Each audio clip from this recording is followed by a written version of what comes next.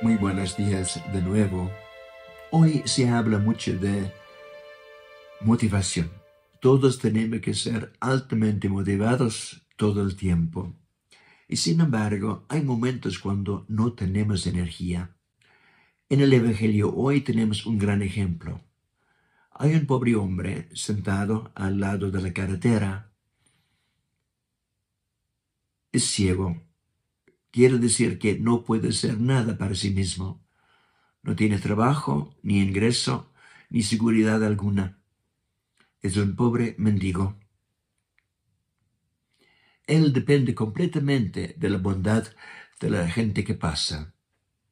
Pero Jesús pasa y dice, llámale. La gente dice, ánimo, levántate, te llama. El mendigo se levanta tira su mantel y corre a Jesús. ¿De dónde esta nueva energía? Es la voz de Jesús.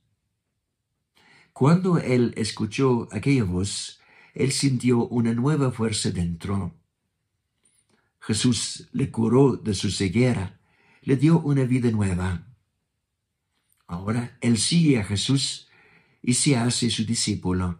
Habrá seguramente momentos en nuestra vida también cuando nos sentimos cansados emocionalmente, mentalmente, físicamente. En aquellos momentos solo tenemos que escuchar.